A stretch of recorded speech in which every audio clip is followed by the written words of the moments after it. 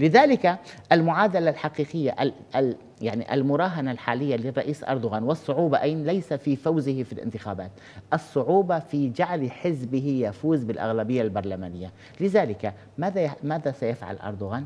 سيبني تحالفات برلمانية مختلفة متى؟ نعم لدينا في المعارضة محافظون لن يستطيعوا إكمال مشروعهم مع المعارضة لدينا في المعارضة بعض آه، آه، يعني بعض الأحزاب التي أفرزت انشقاقات داخلية. هؤلاء معترضون على قيادات حزبهم. هؤلاء يمكنهم أن يبنوا تحالفات مع الرئيس أردوغان. نعم. هذا يمكن مع الرئيس أردوغان. ولكنها أحزاب صغيرة أستاذ بغض النظر.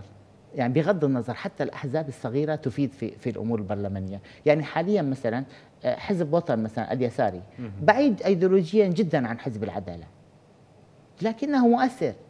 ويعارض ما يتم الترويج عن عن ورقة الغاز. يعني كل مشاريع حزب العدالة تقريبا غير. يعني حتى وجهة نظر حزب العدالة تجاه الملف السوري تجاه النظام نعم. كلها بالعكس. لكنه حليف سياسي بحكم المصلحة.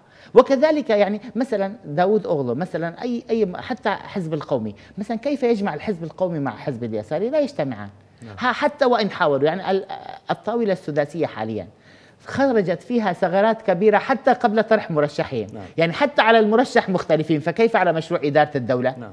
لذلك لا يمكن القيام بذلك. الرئيس أردوغان يدرك كيف يدير هذه الأمور. هو صاحب تجربة هو صاحب تجربة وليس تجربة بسيطة.